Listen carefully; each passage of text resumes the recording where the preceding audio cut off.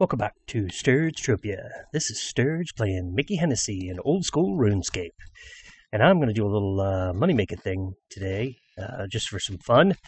I had a good idea earlier uh, because I was thinking, gosh, you know, I need a hundred grand pretty quick.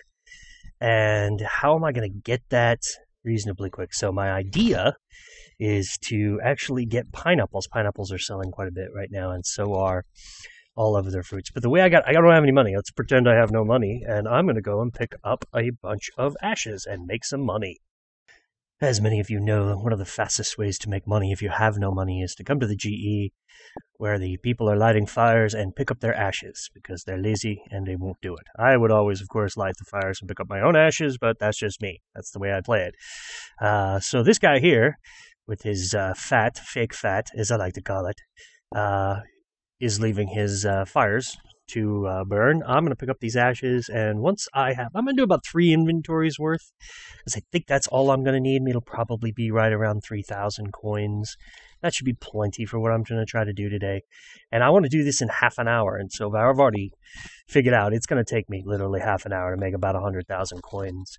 Uh, there was actually a big server hack uh, the last couple of days. Uh, I even had uh, somebody try to change my um, my password and so forth, uh, which is actually a first for me because I change my password so often. And uh, but yeah, I was a bit surprised, and so I'm not even hop worlds. All I'm going to do is do everything on the exact same world, and we'll see how quickly I can make oh, 100,000 coins. Okay, that's inventory number one. So we're getting about 1,300 coins there. That's not too bad. That's actually, uh, that's quite a bit. So hopefully, yeah, like I said, uh, if we get uh, three full inventories worth, we should have about 3,000 coins. Let's see what happens after I finish that. All right, well, I'm going to do just two and a half. Uh, uh I'm going to get moving on this because I know uh, uh, they're selling for 40 some coins a piece, 45 ish, or so let's see, 40 ish. That sells instantly, and we now have 3,337 coins. So that's plenty to get things going. So now we run to Port Sarim. So here's how it's going to go uh, over and over and over. We're going to talk to Trader Stan or one of his representatives, and we're going to buy all his fruits.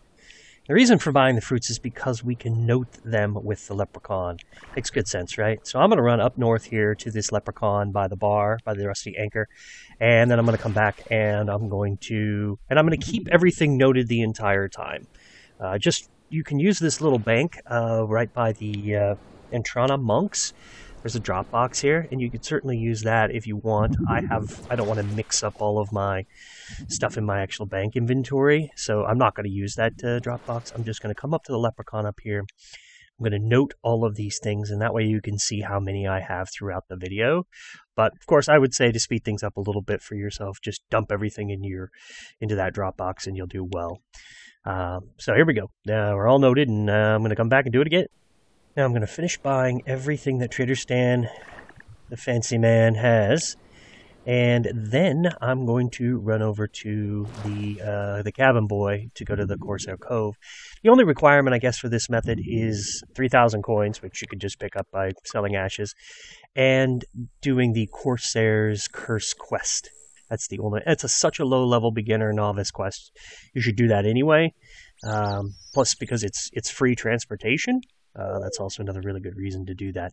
Um, but because Trader Stan also has representatives over in the Corsair Cove, that's really what I want. So here's another leprechaun. Like I said, I'm just, you don't have to do this. I'm just going to keep noting things because I like to note things and it makes it, you know, keeping inventory easier. There's a bank in Corsair Cove and we can note things there and we will do that in just a second. Okay, I'm quickly going to go over here to the Trader Stan representative and pick up the pineapples first. Pineapples have the highest priority because they sell for the most coin, and then oranges, and then bananas. And I'm not picking up anything else but these things. So I'm going to go over here. I'm going to use the bank. I'm going to note these, and then I'm going to uh, finish up the inventory and head out to do more. Okay, I purchased all the fruits from those traders there near the uh, the charter boat here in Corsair Cove. I'm going to take the free travel back to um, the edge of uh, Rimmington, the western edge of Rimmington. I'm going to take talk to this cabin uh, cabin captain here, and we're going to Brimhaven. Then I'm going to walk over to straight over to the Leprechaun. I'm going to note this. I'm going to go to the traders that are up off to the left here, and pick up all of their supplies of pineapples, oranges, and bananas, and then we're going to go pick pineapples and load up.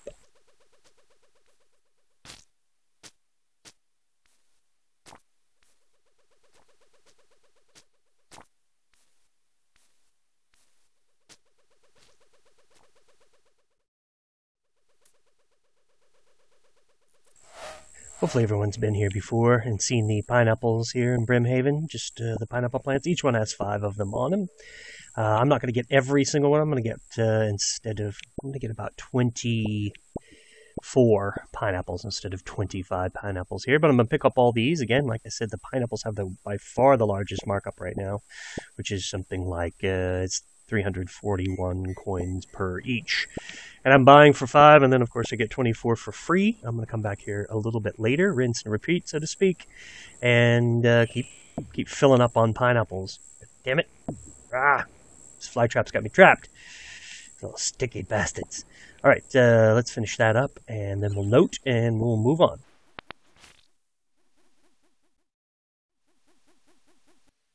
Okay, I cut out the part where I went back to the traders right there at the dock and just picked up the rest of their supply. It's every you'll get one new fruit every minute in the in their inventory, so it's my, totally worth going back and uh, picking up. Right now, I'm going to run all the way over to Musa Point, and uh, I'm going to use. There's a uh, Trader Stan representative there as well. I'm going to get his stuff.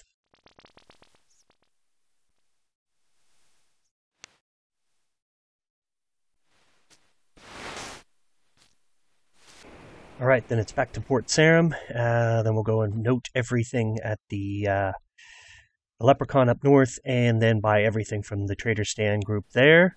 And like I said, just keep it to the fruit. Trying to do this in under half an hour and trying to get to 100k the fast way. Okay, now I'm running back. We're going straight back to Musa Point. We're buying everything from the Trader Stan reps there.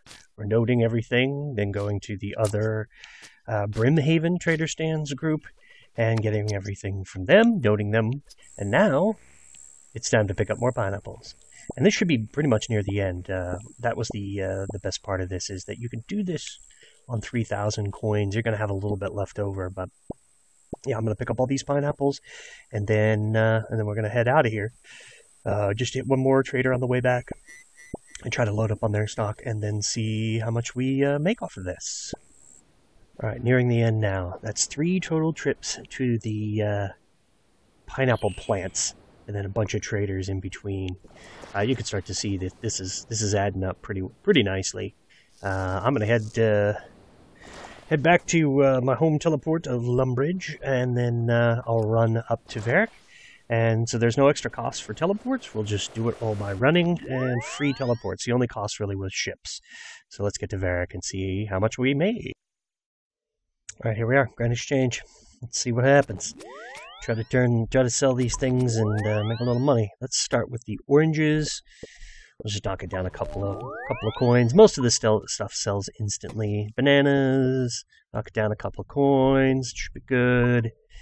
And then the pineapples, we'll try to sell those at 341, I think. Just one coin difference. Sold instantly. What do we get? Oh, holy cow. 191,000? You gotta be kidding me. Uh, mm, I'm thinking, yeah, how much is that? 91,000. Uh, I see what, I know what it is. It's the pineapple sold for uh, a lot more. That's what's going on right now. Pineapples are selling for quite a bit. So it's kind of interesting. Uh, well, there you have it. I mean, that's a great deal. It should have been about 93 to 95,000 coins for this run, but I'll take 191,000. That's probably not going to be the same result for everyone, but, uh, there you have it. That uh, a quick way to make about a 100 grand, 90 some grand but per half hour. And if you don't have any money, no big deal. I appreciate you all watching. This is uh, it's been a little bit of fun, you know, a little bit of interesting time. Uh, me trying to make a little bit of coin. All right, ciao for now.